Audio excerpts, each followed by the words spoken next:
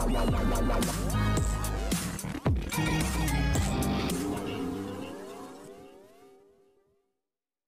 everyone you are watching serial से आप फटाफट से चैनल सब्सक्राइब कीजिए बिकॉज़ यहाँ आपको मिलेगी आप ही के फेवरेट शो से जुड़ी जानकारी। बात करते हैं टीवी सीरियल पंड्या स्टोर के ऑन गोइंग ट्रैक की तो आप देख रहे हैं कि कैसे अंबा ने जो साजिश रची है, उसके बाद धवल खुद का घर छोड़कर अपनी ससुराल, यानी कि नताशा के घर रह रहा है। जहाँ पर नताशा और धवल क्लोज आए हैं तो वहीं दूसरी तरफ़ पंड्या हाउस में हो चुका है। रिश्तों के इक्वेशन का सारा गड़बड़ हिस्सा, और यहाँ पर आप देखेंगे कि अमरीश के सामने एक और नया चैलेंज निकल कर सामने आएगा, जहाँ उसकी एक्स यानी कि शालिनी अभी भी अमरीश को अपना बनाने के चक्कर में लगी हुई है तो ऐसे में अमरीश के सामने खुलने वाला है एक बड़ा राज की शालिनी। नताशा और धवल के कॉन्टैक्ट में है और वो उनकी मदद करने की कोशिश कर रही है।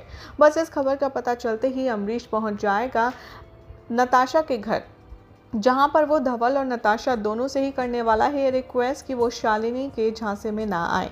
शो के अपकमिंग ट्रैक में दिखाया जाएगा कि जैसे जो भी कुछ मेडिकल ट्रीटमेंट या फिर पॉलिटिकल ट्रीटमेंट्स हो रहे हैं, नताशा और धवल की लाइफ स्ट्रगल के बीच, उन सभी में शालिनी खुलकर उन्हें सपोर्ट कर रही है, वो भी बिना किसी डिमांड के। बस इसी बात को अच्छा समझ कर के नताशा भी शालिनी के गुण गा रही है, लेकिन अपकमिंग ट्रैक में जहाँ अमरीश धवल और नताशा को वार्निंग इनफैक्ट धमकी देते हुए नज़र आएगा और कहेगा कि, शालिनी, क्या है वो मुझसे ज़्यादा अच्छे से कोई नहीं जानता और तुम दोनों उसके चंकल से बाहर रहो। तो वहीं वो नताशा को भी शालिनी से डिस्टेंस मेंटेन करने के लिए कहेगा।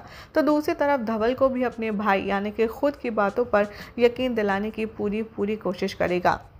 लेकिन हाल ही में चीकू के घर छोड़कर जाने से जो सारी चीज़ें निकल कर धवल के सामने आई हैं, उसके बाद वो अपने घर वालों को किसी भी चीज़ पर ट्रस्ट नहीं करेगा और वो नताशा के साथ मिलकर शालिनी का साथ देने का मन बनाएगा। उसके बाद अब देखना होगा काफ़ी इंटरेस्टिंग कि अमरीश की वार्निंग ना सुनते हुए भी क्या धवल यहाँ पर कोई बहुत बड़ा धोखा खाने वाला है या किसी नई मुसीबत में पड़ेगा?